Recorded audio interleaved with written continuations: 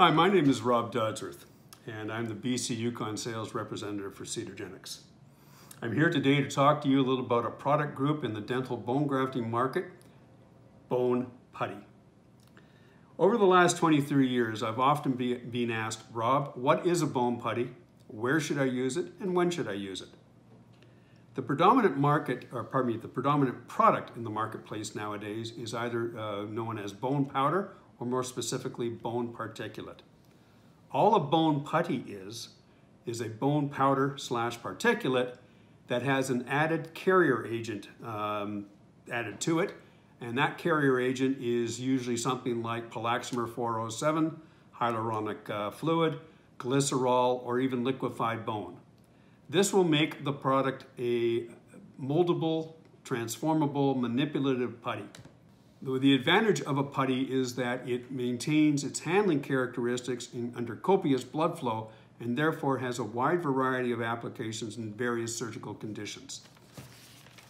Primarily, if you're dealing with a situation like a lateral ridge augmentation, a sinus lift, or a socket grafting procedure where you have a three-wall defect or a two-wall defect, you need to have graft containment especially under copious blood flow after your perforations. A putty has applications in these respects because it keeps all the grafted material at the surgical site during healing, the initial three to five days of healing into the first and second week. Putties can either be dispensed by a, a syringe or via a jar.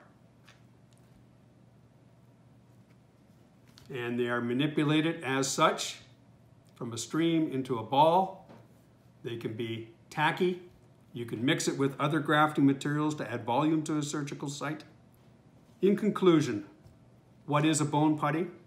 It is merely a bone particulate product that has an added carrier agent. The carrier agent will exude out of the body within three to five days, as stated. When should you use it? Wherever you have copious blood flow or where you have a requirement to maintain the graft material at the surgical site. If you have any further questions regarding bone putties, specifically in our case, C-Blast, which is a mixture of 50% demineralized bone, so you get an osteoinductive kick, plus 50% mineralized cancellous chips, you get a longer osteoconductive holding volume capability. Please give, your, uh, give Citagenix a call or call your local Citagenix product grafting expert. Thank you and have a good day.